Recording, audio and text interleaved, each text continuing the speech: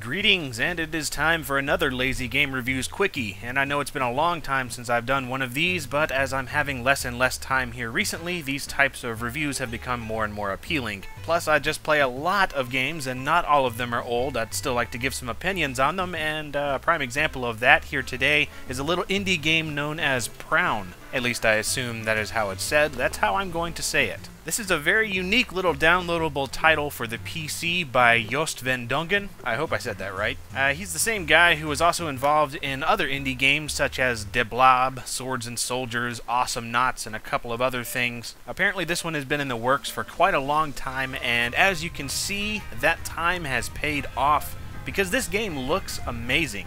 And not only that, it plays very, very well. It's extremely polished. Uh, I guess the easiest way that I could describe this game is just very strange. it's a racing game, that's for sure, and it's very much point-to-point -point circuits, except you're not a car, you're a thing that spins around looking like a ball and traveling along a rail. The whole point is to beat the opposition and dodge these geometric shapes, whether they be very smooth-looking spheres or just whatever the frick these things are. I don't really know what they are, and I don't really care because this is awesome. It, it doesn't remind me of uh, too many other games really that are out there, and that's one of the big appeals of this. It does remind me a little bit of a game called Ballistics, which was um, another sort of rolling kind of thing, and also some of the gameplay and uh, some of uh, Episode 1 Pod Racer. Uh, Star Wars game, actually. You know, the parts where you go in zero G and you're spinning around constantly and trying to uh, dodge these rocks and such. Uh, it's really nothing like that, but it does sort of remind me of that as far as the spinning around. It's super simple. You just control it with the arrow keys, and you have the uh, left shift key by default, which will engage a boost of some kind, which builds up the longer that you survive or don't bump into anything. If you bump into something, that boost goes down. So really, it's just a matter of going through this as efficiently as possible, and of course beating the opposition.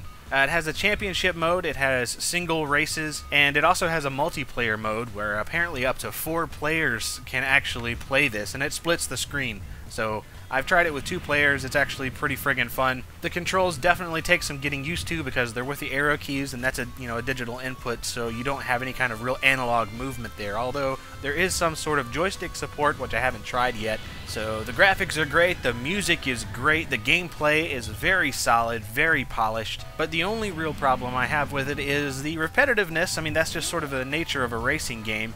So whether or not that's kind of your thing, if you really like memorizing tracks and such, this would probably be a game to check out. It only has like four or five tracks and uh, one extra if you pay for the game. We'll get to that in a second. One great thing about it, though, is that you can download and actually create your own tracks if you have 3D Studio Max. You can get those on the website proun-game.com, and that's also where you can download the game. And here's the best friggin' part about this game is that it is a pay-what-you-want game.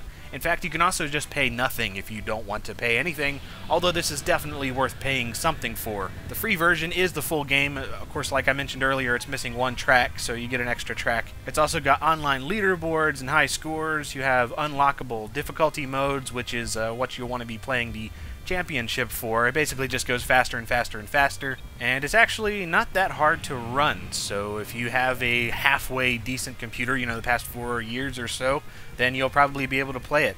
I totally recommend downloading Proun, Prawn, Prune, Prune, whatever this game is called.